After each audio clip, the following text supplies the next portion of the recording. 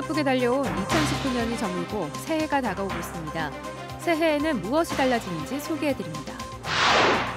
파업이 반년 넘게 이어지면서 아스팔트에서 새해를 맞는 일진 다이아몬드 노동자들을 만나봤습니다. 진천 버스터미널에 모조품 폭탄이 발견돼 승객들이 공포에 떨었습니다. 대테러 훈련 과정에서 잃어버린 게 아닌지 수사하고 있습니다. 여러분 안녕하십니까? 계속해서 충북 지역 뉴스입니다. 숨가쁘게 달려온 2019년이 저물어가고 있습니다. 올해 맨 마지막 날인 오늘 어떻게 보내셨나요? 거리에서 만난 도민들은 차분하게 한 해를 마무리하며 새해를 준비하고 있었습니다. 이채영 기자입니다. 한 해를 보내는 전통시장은 한파 속에서도 삶의 온기가 넘쳤습니다. 손님과 구경꾼이 뒤섞여 북적대는 거리에서 상인들은 올 한 해도 치열하게 살았습니다. 그렇게 시장을 지켰습니다. 네, 경제적으로 어려운 면이 많았지만 그래도 또 어, 저희는 또 그 상황에 맞춰서 최선을 다했고 또 결과 또한 만족합니다. 한 해를 마무리하는 시간은 동시에 새해를 설계하는 설레임으로 다가옵니다. 2019년 독백을 기록했던 다이어리 한 권은 추억으로 남기고 희망을 그릴 다른 한 권을 골라봅니다. 다이어리 매년 이제 구매를 해서 이제 이제 제가 이제 4학년이니까 막바지에 더 열심히 준비하려고 다이어리 사러 나왔어요. 가는 해가 아쉬운 듯 한파는 한 해의 마지막 날을 꽁꽁 얼어붙게 만들었습니다. 도심 거리를 오가는 사람들도 매서운 세밑 한파를 실감했습니다. 어디 좀 그 나들이 하려고 나왔는데 엄청 추워가지고 아니 막 눈물이 날 정도네. 희노애락이 교차했던 2019년. 지평선을 넘어가는 마지막 해를 바라보며 또 한편으로 희망을 품은 선물 같은 2020년을 기다리고 있습니다. 마지막 2019년 12월 31일이잖아요. 그래서 여기가 의미 있는 곳 마지막 해를 담고 싶어가지고 왔는데 조금 춥지만 굉장히 의미 있는 것 같고 내년도 잘 지낼 수 있을 것 같아요. 충북에서 2020년 첫 해는 내일 오전 7시 39분 영동 추풍령을 시작으로 떠오릅니다. 구름 때문에 일출은 곳에 따라 볼 수 있을 것으로 기대됩니다. MBC 뉴스 이채연입니다. 내년 총선을 앞두고 충주 지역구에 더불어민주당 출마 예상자가 잇따르면서 치열한 공천 경쟁이 예상됩니다. 택시 운전을 하는 박영태 씨가 지난 17일 민주당 예비 후보로 등록한 데 이어 박지우 전 충청북도 서울사무소장도 예비후보 명단에 이름을 올렸습니다. 또 김경욱 전 국토부 2차관도 예비후보로 등록했고 맹정섭 충주지역위원장도 조만간 예비후보로 등록할 예정입니다. 지역 정가에서는 우건도 한창희 전 충주시장을 비롯해 9명가량이 민주당 공천을 두고 경쟁할 것으로 내다보고 있습니다. 한편 자유한국당인 현역인 이종배 의원, 바른미래당은 최용수 지역위원장 출마가 예상됩니다. 새해에 대한 소망과 기원으로 가득해야 할 이때 힘겨운 시간을 보내는 사람들이 있습니다. 벌써 반년 넘게 파업을 벌이고 있는 일진 다이아몬드 음성 공장 노동자들인데요. 차가운 아스파트 바닥 위에서 새해를 맞는 길 위의 노동자들을 이지영 기자가 만나봤습니다. 사업체 육설기업 일치하고 각성하라 일진자고 각성하라 공업용 합성 다이아몬드를 만드는 세계 3대 업체인 일진 다이아몬드 음성 공장. 기계 소리 대신 현장 노동자들의 외침이 공장 안을 메웁니다. 하루 세 차례 현수막과 피켓을 든 지 벌써 반년이 넘었습니다. 본격적인 무더위가 다가오기 전 시작한 파업은 어느새 190일 가까이 한겨울과 한 해가 끝나도록 이어지고 있습니다. 남들은 대기업에 다닌다고 부러워하지만 이렇게 파업이 길어진 데는 이유가 있습니다. 유해 물질을 다루지만 제대로 된 배기 장치가 없고 기본적인 안전 교육도 없었다는 게 노동조합의 주장. 일방적으로 상여금을 기본급에 포함해 경력에 관계없이 최저임금을 받는 열악한 여건도 노동조합을 만들고 파업을 하게 된 계기였습니다. 2년 차가 돼도 최저임금, 3년 차가 돼도 최저임금. 회사가 감당할 수 없는 요구를 하는 것이 아니라기 때문에 파업에 동참하고 있는 노동자는 공장 전체 직원의 80%. 파업에 맞서 회사가 직장 폐쇄를 하면서 월급도 전혀 받지 못하고 있습니다. 회사와 노조가 32차례나 본교섭을 했지만 단체 협약 127개 조항 가운데 잠정 합의한 건 30개에 불과합니다. 회사 측이 협상 의지 없이 조합원을 대상으로 고소 고발만 이어가고 있다고 노동조합은 말합니다.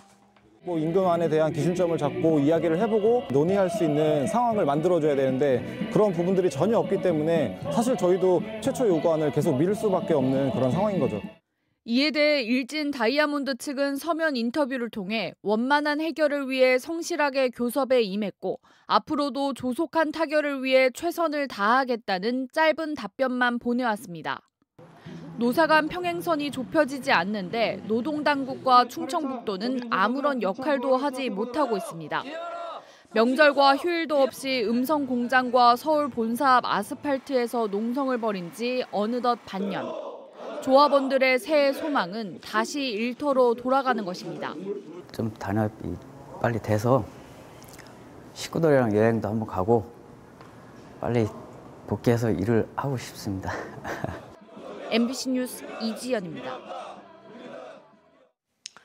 4톤 무게 바위가 굴러떨어지면서 한 명이 숨지고 한 명이 다친 충주 채석장에 부분 작업 중지 명령이 떨어졌습니다.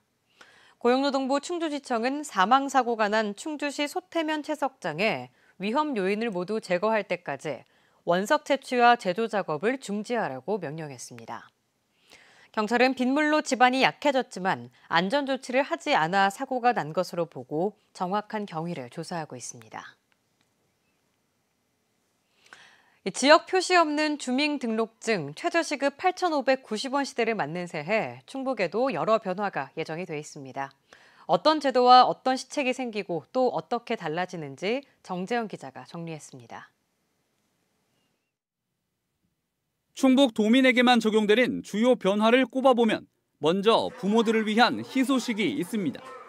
새해에는 충청북도가 도내 모든 어린이집에 한 곳당 20개씩 통학 차량용 카시트를 보급합니다. 참전 유공자 8,900여 명에게 매달 20만 원의 명예수당을 지급하고 충북의 명문 장수 기업을 매년 5곳씩 선정해 세무조사 면제 등의 혜택을 줍니다. 충북 도민이라도 시군별로 사는 곳에 따라 적용받는 새로운 정책과 제도가 다양합니다. 청주는 7월부터 미래지 테마공원 오토 캠핑장 공간을 2배 이상 늘리고 만 39살 이하 청년 농업인에게 농업보조사업 우선 지원권을 줍니다. 충주는 쓰레기 투기 신고 포상금제의 거주지 제한과 난임 부부 시술비 지원 사업의 나이 제한을 없앴고 상반기 중에 서충주 도서관도 문을 엽니다. 제천은 만 24살 미만 자녀가 3명 이상인 다자녀 가구에 대해 수도 요금을 감면합니다. 보은군은 고등학생 1명당 32만 원의 해외 체험학습비를 지원하고 영동군은 경로당 지킴이들의 활동비 지원을 확대합니다. 옥천군은 결혼 출산 장려를 위해 7월 이후 결혼하는 부부에게 정착금 500만 원을 지급하고 70살 이상 어르신 버스 무료 이용제를 시작합니다. 증평군은 어린이집과 지역 아동센터에 냉난방비를 신규 지원하고 진천에는 4월부터 공설 자연장지가 들어섭니다. 괴사는 100만 원 한도로 신혼부부 주택자금 대출이자 지원, 음성은 지역화폐인 행복페이 발행, 단양은 독거부모의 안부를 대신 확인해주는 서비스를 시작합니다. 아쉽지만 좋은 소식만 있는 건 아닙니다. 청주 등 일부 시군의 상하수도 요금이 일제히 오릅니다. 상수도의 경우 사용량 20세제곱미터 이하인 가정용 기준 1세제곱미터당 영동 60원, 제천 50원, 보은 40원씩 인상되고 대중탕용과 산업용도 모두 오릅니다. 청주시는 가정용 누진제가 폐지되면서 하수도 요금이 1세제곱미터당 동지역 170원, 읍면 91원씩 각각 크게 오르고 이미 한 차례 오른 상수도 역시 새해에 가정용 기준 1세제곱미터당 540원으로 40원 인상됩니다. 많은 변화가 예상되는 새해. 더 자세한 내용은 각 시군을 통해 확인할 수 있습니다. MBC 뉴스 정재영입니다.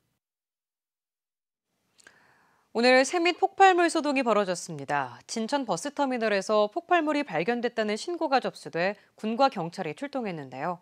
다행히 2시간 만에 모조품으로 드러났습니다. 경찰은 대테러 훈련 과정에서 분실됐던 훈련용 모조품인지 수사하고 있습니다. 이재호 기자입니다. 진천읍내 한가운데 위치한 종합 버스터미널.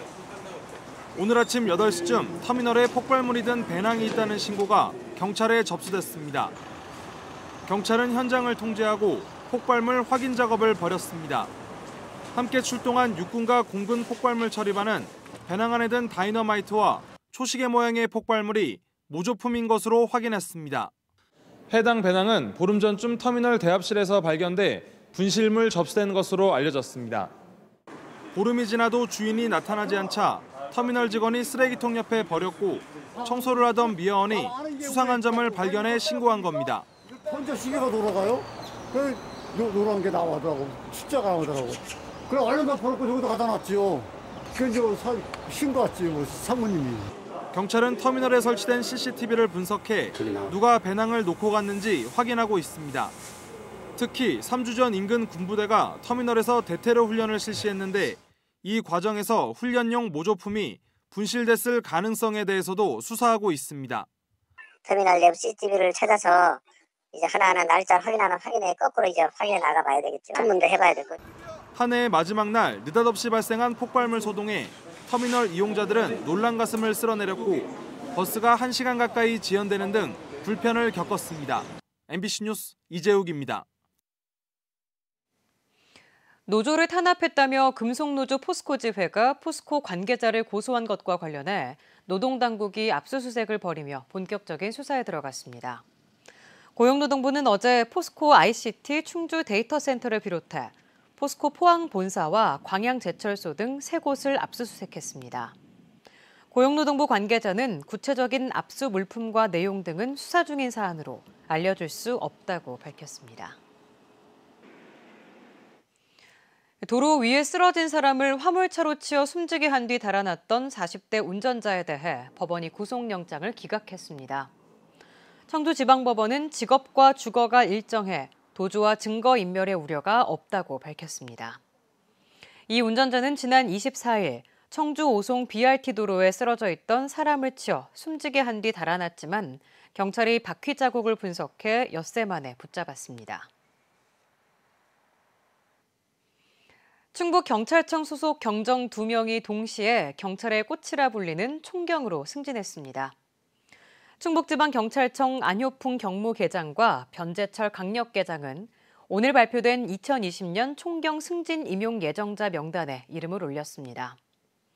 음성 출신 안효풍 계장은 지난 1992년 경찰 생활을 시작해 충북청 경비 경호 계장 등을 지냈고 청주 출신의 변재철 계장은 경찰대를 졸업한 뒤 충북청 지능범죄수사대장 등을 역임했습니다. 제천시가 옛 동명초등학교 부지에 짓는 제천 예술의 전당과 여름광장 설계 당선작을 선정했습니다. 당선업체인 행림종합건축은 부지 남쪽의 지하 1층에 지상 3층, 객석 799석과 주차장 200면을 갖춘 예술의 전당을 짓는 방안을 제안했습니다. 충북지역 뉴스였습니다. 고맙습니다.